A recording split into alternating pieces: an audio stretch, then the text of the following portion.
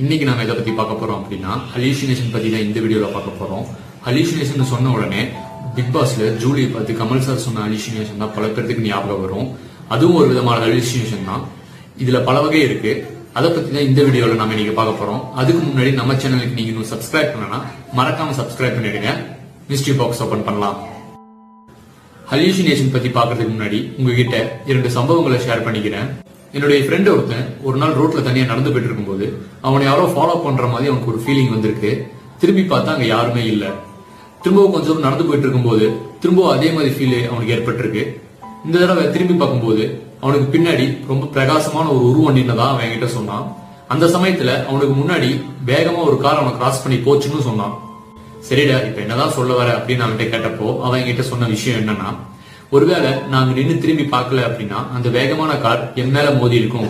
அந்த விபத்துல இருந்து என்னை காப்பாத்தினது அந்த வெள்ள உருவம் தான். அந்த பிரகாசமான வெளிச்சம் தான். சோ அது கடவுளே எனக்கு நேரா வந்து என்னை காப்பாத்தின மாதிரி நான் ஃபீல் பண்றேன் அப்படின்னு அவன் சொன்னான். இப்போ ரெண்டாவது சம்பவத்துக்கு வருவோம். என் ஃப்ரெண்டு ஒருத்தனுடைய அப்பா ரீசெண்டா இறந்து போயிட்டாரு. இவன் தினமும் நைட்டு தூங்கிட்டு இருக்கும்போது அவனுடைய அப்பா அவனை கூப்பிடுற மாதிரி இவனுக்கு சத்தம் கேட்டிருக்கு. எழுந்திருச்சு பார்த்தா அங்க யாருமே இல்ல. தொடர்ந்து இதே மாதிரி நடந்துட்டு வந்திருக்கு.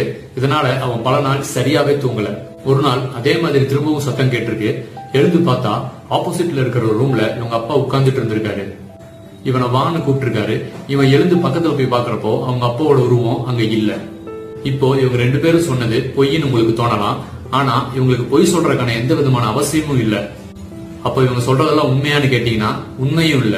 என்னடா உண்மையும் இல்ல பொய்யும் இல்லையா? அப்ப அதுக்கு பேர் என்ன அப்படின்னு கேட்டீங்கன்னா அதுக்கு பேர் தான் அதாவது நாம எதை பத்தி எப்பவுமே நினைச்சிட்டு இருக்கோமோ அது நம்ம மூளையே நமக்கு நிஜத்துல இருக்கிற மாதிரி காட்டும். ஆனா இது எல்லாருக்கும் நடக்காது.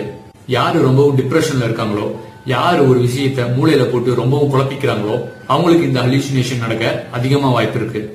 உதாரணத்துக்கு உங்களுக்கு புரியுற மாதிரி சொல்லணும்னா சூதுகவும் படத்துல விஜய் சேதுபதிக்கு இல்லாத ஒரு பொண்ணு தன் கூட பேசுற மாதிரியும் தன் கூடயே இருக்கிற மாதிரியும் தோணும் இல்லையா? அதுக்கு பேர் தான் ஹலுசினேஷன் இந்த நோய் இருக்கிறவங்களுக்கும் இல்லாதவங்களுக்கும் என்ன வித்தியாசம் அப்படின்னா நம்மள பல பேர் நிறைய விஷயத்த செய்யணும்னு நினைப்போம். ஆனா அதெல்லாம் நம்ம நிஜத்துல செய்ய முடியாது.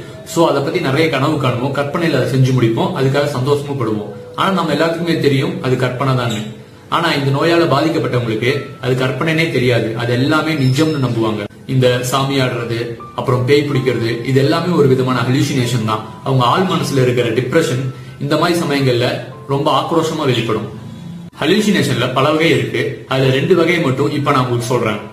ஒன்னு விஷுவல் ஹல்யூசினேஷன் ரெண்டாவது ஆடிட்டோரி ஹல்யூசினேஷன் விஷுவல் ஹல்யூசினேஷன் அப்படிங்கிறது நம்ம முதல்ல பார்த்த சம்பவம் மாதிரி.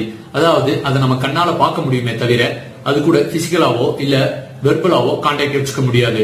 அடுத்தது ஆடிட்டோரி ஹல்யூசினேஷன் இது நாம ரெண்டாவது பார்த்த சம்பவம் அதுதான் இதை நம்ம பாக்குறது மட்டும் இல்லாம இது கூட பிசிக்கலாவும் வேர்பலாவும் கான்டாக்ட் வச்சுக்க முடியற மாதிரி நம்ம மூளை நமக்கு ஒரு பிம்பத்தை ஏற்படுத்தி கொடுக்கும். அதனால இந்த நோய் இருக்கிறவங்க இது உண்மைன்னு அப்படியே நம்பிடுவாங்க.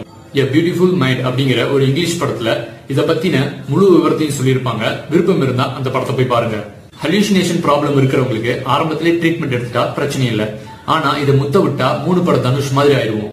அவ்வளவுதான் இந்த வீடியோ. இந்த வீடியோ உங்களுக்கு பிடிச்சிருந்தா லைக் அண்ட் ஷேர் கமெண்ட் பண்ணுங்க. அடுத்த தடவை யாருக்காவது சாமியோ இல்ல பேயோ பிடிச்சிருந்தா கோயிலுக்கோ இல்ல பேய விட்டுற இடத்துக்கோ கூட்டிட்டு போகாம ஒரு நல்ல டாக்டர்கிட்ட கூட்டிட்டு போங்க. உங்களை அடுத்த ஒரு இன்ட்ரெஸ்டிங்கான வீடியோல சந்திக்கிற வரைக்கும் மிஸ்ட்ரி பாக்ஸ் க்ளோஸ் பண்ணி வைக்கலாம்.